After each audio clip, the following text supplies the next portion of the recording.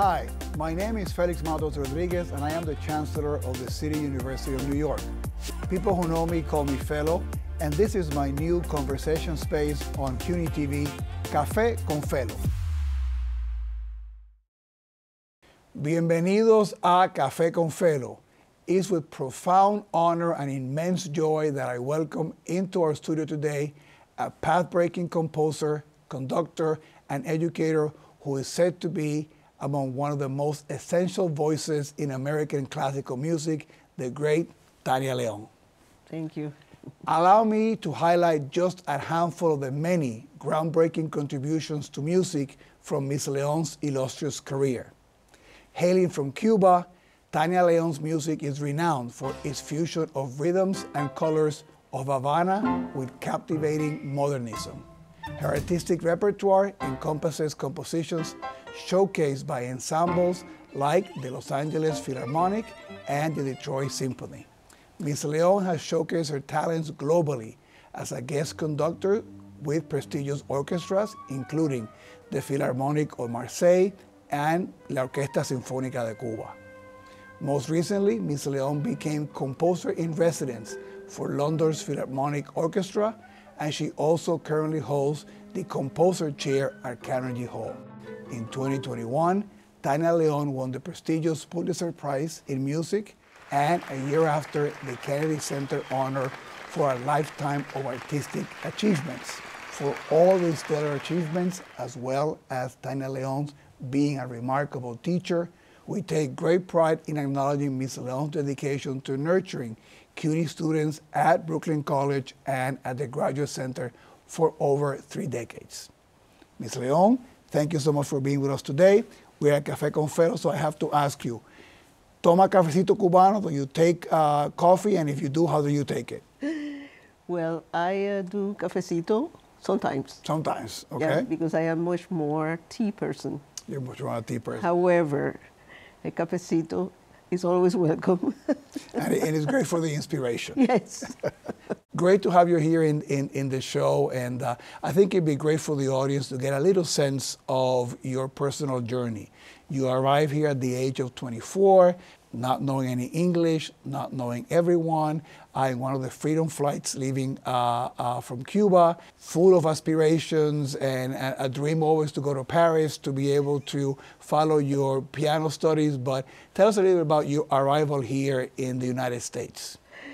Well, uh, my arrival was kind of a shock because uh, uh, there was a lot of turmoil with the Vietnam War and, uh, and it's the first time also that I saw on television the marches with Martin Luther King and the civil rights movement. And uh, so there was a lot that was very impacting uh, for me. And I, I was really concerned because I didn't know how, how, I was going to navigate anything. But uh, I had the blessing um, relationship of two friends that lived in the Bronx. Okay and uh, you know, uh, it was uh, somebody that was doing copying in Cuba and her husband, and even that they were having a very very trying situation in terms of the jobs that they had. They offered me their sofa, and uh, that's how I arrived in New York. So then you come to the Bronx, you're with those, uh, with those friends. How did you begin to connect with uh, the musical uh, community here in New York? Well, it was very interesting uh, because I didn't know what to do. They didn't know what to do either. And we took the yellow pages. You remember the yellow oh, pages that it was? Yes, yes, yeah. And we started scheming in there, looking for possible companies or possible colleges and things like that. And we end up looking at something called American Council for the Immigrants in the Profession. And I decided to go there and knock on the door. And uh, so I went there, and uh, they found people that spoke Spanish, and I explained my situation. And the head of the entire department told me to play the piano because she wanted to, to know what I was talking about. Mm -hmm. And I played the piano, and when I finished, uh, she said, I'm going to get her a scholarship. And that's the beginning of the story. What a great! And then I think you went to, to NYU, right, to study music. Uh, yes, I started at um, New York College of Music, Okay. which was on 85th Street between Park and Lexington. That is where I got my first scholarship. Okay. But of course, since I didn't have the English, then I ended up in NYU learning immerse, an immersion course in English and then transfer. And uh, finally, I end up actually graduating from NYU. What a great story. I think, I don't know if it's at that time or a little later, you also then have a really great experience in Harlem. How do you connect with the Harlem community and what did that mean for your own musical trajectory? Yeah, yeah, yeah, yeah. Being at NYU, a classmate, uh, she became ill and she gave me her books to replace her on a Saturday in a school where she was playing for ballet classes in Harlem. And it was the first time that I took a train to Harlem. And I was very enthusiastic because I've seen Harlem in the movies, but have, you know, I have no idea and have no reason why to go there. So I went, and uh, I went to this place, and the place was the Harlem School of the Arts. Uh-huh. And uh, the founder was Dorothy Maynor, and it was at the basement of a church. So I went there and to replace my friend, and I was replacing my friend playing the piano and enjoying the piano when there was no lessons. I mean, there was a gap between one and the other sessions, and that is when the gentleman, you know, went through the room, heard me play, and he didn't say anything at first. But then the second time, when he was passing by to go to the other door, he uh, came to me. And he sort of like uh, tried to speak with me. I spoke to him He didn't speak English. And uh, next thing, you know, he got my number. And then two weeks after, I got a call from somebody in Spanish telling me to go to the same place. So I went to the same place to play the piano, of course, and that I didn't know that that was changing my life completely. Because the man that I was dealing with, which I didn't know who he was, you know, uh, was Arthur Mitchell. And that first class was the beginning of a project that he had in mind that has become the Dance Theater of Harlem. So I became instantly the first pianist, then graduated to the music director, then graduated to composer in residence, and then graduated into the conductor. So, and that is how I actually started my composition career because I arrived here as a pianist. I had no intention to even become a composer. Never closed my mind. It, it's very interesting how two random individuals asking you to just play the piano uh, has opened so many doors. Uh, it's like the language of music allow you to deal with the difficulties of not navigating English uh, initially, right? And the, I know. And the music spoke for you, uh, for you, and and your talent spoke through that. So you mentioned that interesting sort of uh, transition, and and I think uh, for the audience too. Uh, you have been playing the piano since you were a little girl in Cuba, so you thought yourself as a pianist, and I think that you always said that you wanted to go to Paris to, to play and to study. Um, when does a composer voice emerge? When, when do you begin to sort of see yourself uh, as a composer? As a composer, well, I started writing ballets, you know, music for ballet. But after I wrote the first one, which is sheer intuition, I didn't know anything. you know, I put it together. In fact, every time I hear the piece, I go like, "Oh my God!" and um, but um, it was so impacting to see the dancers on stage, to hear the music. I was the pianist in the music. I mean, in the recording, and the lights and, and the costumes and the audience. I mean, I mean, it was a real impact. It did something to me. And that is when I said, I better study composition. And I went to NYU. I was validating my degrees as a pianist and a theorist. And I went there and I said that I wanted to change my major because now I have this opportunity with the ballet company. And uh, that's how the whole thing started.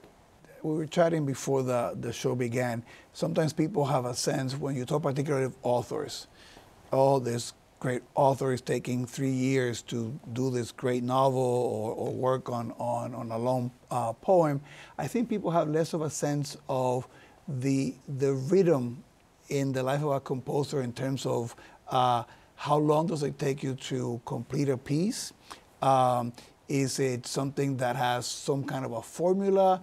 Is it uh, you drinking your tea and waiting to be inspired? So when, when you compose, when you write, is there a certain uh, rhythm to it? Is there a certain pattern to it?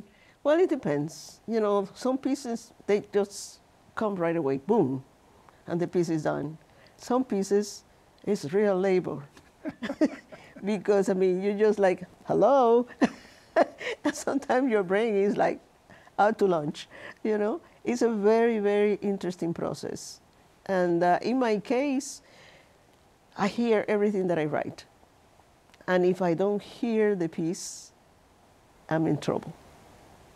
It's a very interesting situation. I, I push myself. Uh, you know, I started navigating everything that I know intellectually, technical, I mean, all of that. Uh, but then I might write and I know that it's not it because I don't feel it. Have you ever completed something because you had a deadline and not felt that it was totally, is, totally ready? That is, it has to be a nightmare for a composer, right? It is a nightmare, yes. It is a nightmare because, I mean, that deadline is looking at you and, and, and sometimes uh, you, you are on, but sometimes you're not. not. And that is, you have no idea. It drives you absolutely crazy. At least it, it doesn't to me. And, and when you say that you have to hear it, I don't know where you compose, if it's the house or the office, or, or, or do you need to have like complete silence to be able to? Um... No, it can happen anywhere. It could be right. I mean, walking on Fifth Avenue, and all of a sudden I hear this scene that goes, you know, and I go like, oh my God, do I have a paper now? or I try to memorize what I heard or something. Yeah. And so what kind of music do you listen to? So, so when, when Tania Leon is, is chilling, mm-hmm. right? What, what, is, what would be on your, on your playlist? Anything. Anything? Anything. You know, I, I could be listening to rap. I could be listening to, I mean, the, the, the classics, you know, standard classics. I could be listening to a lot of uh, contemporary music written by someone else or some, somebody, I mean, a composer that is not even in this country. I love the music of, uh, everybody said the folklore, right? Mm-hmm. But I call it the classical music of every culture. Yes. You see? And uh, so if I travel somewhere, I try to find out where is that music? Who plays it? What instruments? You know, I try to meet the, the musicians in the street uh, um, I don't know, everything, I'm very attracted to sound. Let me follow that because that folkloric music, and I love the way that you sort of turn it around and say that's just the music of that, of that culture, uh, is often not associated with classical music, mm-hmm. right? Uh, how do you make that connection? How do, how do you work on that bridge? Well, I mean, that's why my passion for composers is, is so incredible you know, at, at least it's something that I feel very, it's, it's genuine, you see, because everybody that have the patience and the intention and, and that inner propulsion to put something together, it could be a hillbilly mm-hmm. in the mountain. Yes. You know, I mean, and we have heard many of those melodies are unbelievable, and they never went to a conservatory, mm-hmm. you see. So all of that I'm very attracted to because I mean, I don't know where that comes from no. in a in a human being. You see, so for me, the word classical is a, a little bit, I don't know, it's a one more label mm. because we we call the classics, you know, a, a, body of works that came from a, a specific part of the world. You see, and and a specific era. You see. Uh, other than that, uh, it's just, for me, it's a com commercial label to call it classical. But uh, thinking about those composers when they wrote their music, I mean, including Beethoven, he didn't call his music classical. He wrote a piece. Yep. you see? He was listening to his own voice. Exactly. He was listening to his own voice. He was a, a, a violist. He had a quartet. He was trying to get, you know, I would say gigs, you know, to get, you know, his income. And uh, so, I mean, the fact that we call it classical now is, is somebody invented that. I don't know who did that. But, it, but, but the label has, has clearly stuck. And, Uh, of course. Uh, now that I hear you talk about that, that voice that speaks to you in, at different times when you're working in either because you're working on a piece, right, or a piece finds you. Let me, let me switch over to your role as a teacher. We've been very fortunate at uh, CUNY to have you for over three decades at Brooklyn College in the faculty and here at the, at the Graduate Center. Uh, talk to me about Tania Leon, la maestra, the teacher, right? Because that has to be tricky. How do you get people to connect with an inner voice if it's something that personal? So, what are some of the techniques or what are some of the signatures of the of the way that you teach composition? Well, um, I think that I teach more, you know, um, allowing that young mind to actually connect with their inner, inner zest, you know, their inner creativity. I believe that those that come to an institution and say, this is what I actually want to focus on, is because there is something inside already that made them to do so. And a musician is years and years of training. Composer, years and years of training. So if somebody is going to deposit their life into that, it's because there's something interior. You know, there's something. It's a, call, it's a calling, Yep. I must say. And so that is what I actually, um, one of my first conversations with that student is talking about their calling. And I think that this is something that is um, a legacy that my father left for me uh, in the last conversation that we had. That he said to me, Your music is interesting, but where are you in your music? So, this is something that I always tell anybody that is getting into whether it is poetry or, or painting or any any form of anything. I mean, where are you in what you're doing? You see? What a wonderful way to keep you to keep you center and, and to keep that to keep that, that legacy. But I've also heard that you actually ask your students to trace the music in in, in is, is that is that a true story? Did they tell me that right? Well, I mean, I, you know, talking, going back to Beethoven and Bach and all of these uh, luminaries that we talk out of the pantheon of the music of the world, um, at that time, um, there was no computers, there was no music programs. In fact, there was not even printing. So everything had to be done writing.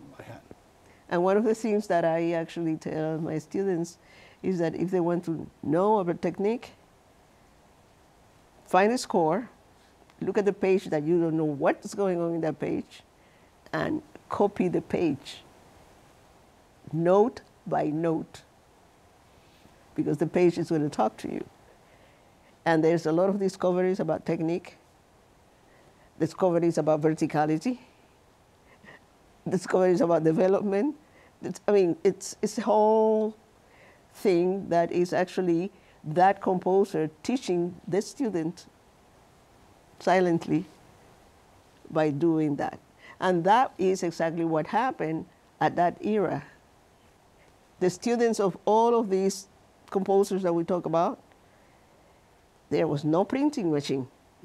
So in order to have a score, they have to actually write the entire score to produce a copy and give it to somebody. Is this a technique that you created yourself, or is it a technique that you learned from somebody that taught it to you? Uh, no, nobody taught me that, you know. But thinking about this and thinking about the process, for example, Bach, Bach died.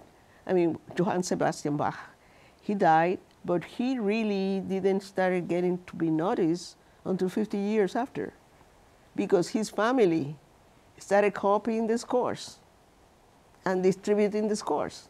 You know, his sons became musicians as well, you see. And nowadays, we adore Bach. What about if if they didn't do something like that. There would have been no, no, no Bach if the, if the family had not carried the legacy and followed the discipline of being able to. Exactly. Uh, well, it also speaks to, and you mentioned your your your father as a as a great influence. Also know that your grandmother played a large role, right, in in, Sure. in, in, in your career. Can you say a thing or two about that that family legacy in your in your story in your music? Well, um, when I was four years old, she's the one that noticed that I was on the radio, you know, captivating every single station and everything that had music. I would I, either um, leave the radio and started dancing to the music, but she noticed that I was dancing to the rhythm of the music, you see. And if I was singing anything, I was repeating exactly the same pitches that were, they were singing. So she rushed me to a conservatory and told the teachers, I think that she has something to do with this. Yes. And uh, she insisted until they took me, and I was four years old. And they got you a piano too at some point. Well, right? my, my grandfather, then followed my grandmother. as, as, as, as, as, you know, good Latino men did. Listen to, to, to your abuela. and- and exactly. she- get- And get- then he actually, you know, came up with a hand, a second-hand piano, real piano, when I was five. That I, every time I think about them, I, I said, I don't know. I mean, if I would do something with the five years old, isn't that amazing? Uh, back then, there were no rentals, none of those things to be able to make it to make it easy. What a fascinating story. We need to take a little break. Uh, so, Tania Leon, thank you for this wonderful conversation, and there's more to come. So please stay tuned.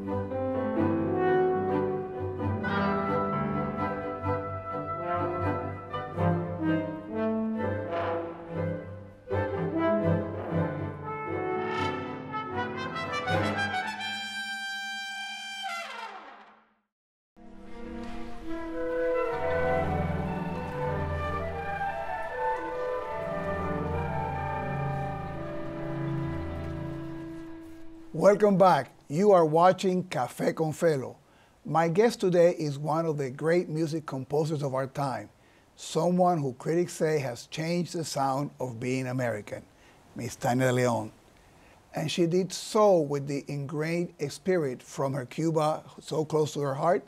And now we're going to take questions from students from Brooklyn College, where Miss Leon taught for the past 35 years until she retired in 2019. So let's turn to the first question that comes from Z. Hello, my name is Z Chen, and I'm a double major in piano performance and music composition. As a fellow composer, uh, I would like to ask you how you found your compositional voice. Piano and composer, it's like your story again. My story. well, compositional voice, I mean, I believe that we have a little bit of that from the very beginning. Because nowadays, I mean, if you analyze the scores of many composers when they are seasoned or when they are no longer with us, you might see traces of different aspects of their writing from their very beginning, you see. So the compositional voice is something that one can find perhaps when there's certain maturity, you know, um, 30, 40s, something like that. But I think that from the very beginning, the seeds are there, you know. Is, is there anything from your earlier years that you hear and you go like, oh my God, no, don't play that again? Well, it's interesting because um, in my class of uh, harmony class, the person that predicted I was going to be a composer was my teacher. Yeah, I did certain exercises that he declared that they were pieces. And he made that comment, but it eludes me completely. and, uh, you know, in my younger years, you know, with my brother, he had a, a little group of musicians. We used to put canciones together, I mean, songs, for him and I to actually sing as a duet. So All, all, all the, all the early indications were, were there. Uh-huh. It was pointing towards that direction, but I didn't know. Yeah. Well, so we have, I think, a second question from a student, Jane. My name is Janae Greenholtz, and I'm a musicology student here at Brooklyn College. My question is, despite women who are composers having gained significantly more recognition since you first started composing, the field is still largely male dominated. Do you have any advice for young women composers who are just starting out in their careers? Excellent question. Wow, Yeah. that's the question. Yes, now is that women are being highlighted or presented or recognized much more than before. But one of the things that in my case, I never thought of myself as being a woman. Mm. You know, I mean, I have this thing about, you know, I, sometimes I confuse people because I said I, I, I'm not what I look like. You see, I mean, it's like there's something, there's an essence, there's a force, there's an energy inside of me that is bigger than this thing that you look like. You see? So therefore, that have helped me not to give power to those that would like to make me feel that because I'm a woman or because I am, you know, from a different part of the world or because I, you know, my first language is different, uh, I, I, I don't give power to those, those type of thoughts because, I mean, you know, I mean, we are bigger than what we think. And uh, look what men have been achieving. You know, I'm not talking about men, men, talking about mankind. Mhm. The achievement of mankind is tremendous. And now that women are being recognized, it was about time, that- you know. So But you've been also very active in organizations to make sure that there's a lot more diversity uh, in, in the composing world, right? Absolutely, absolutely. Not because I wanted to do that, but because I believe that we have always been diverse. But I mean, why we don't talk about it? Because I mean, you know, in the world, at least, you know, you are the only one that is you. There's nobody in this entire world that is your replica. Not physically, not mentally, not your force, not your energy. So therefore, I mean, that, that is where I'm coming from. So I'm very proud of being a woman or representing what we call a woman in this planet. But that doesn't mean that I am going to allow anybody to put me down because of that. And that, that is uh, something that I would like to tell the youngsters uh, that think about, think a little bit more about what we are all about. And the thing is that we are a species in a planet in the middle of the universe. So, I mean, that will make us think more than thinking that we are this little thing, you know, uh, whether you are seven foot tall or, or three foot tall, it doesn't matter. It's, it's the force of being a human being. And finding, again, going back to your comment about finding that, that inner voice. Yes, absolutely. What a great, wonderful uh, message. And, and, uh, and again, uh, thank you for, for joining us today. Thank you for your energy and for sharing that voice with uh, all of us over many, many years. And I know you remain very active. So it's been a privilege to sit here with you today and to be able to share your story uh, with our audience and uh, have this conversation with uh, a great treasure of American and Cuban cultures and also a CUNY treasure. So thank you also for your role in shaping countless generations of, uh, of students and, uh, and good luck uh, with the rest of your work in, in composition and for touching so many lives with the work that you do. We're, we're so lucky that, Thank you. that Thank you get so to much. do that and, and thanks to your grandmother uh, for having listened to you and allow you to get that piano and get you going uh, very, very early. But again, that's all the time that we have uh, today. So don't forget to join us for Cafe con Felo on weekends, on Friday, Saturday, and Sunday at 8 p.m. only here at CUNY TV. Take care. Thank you.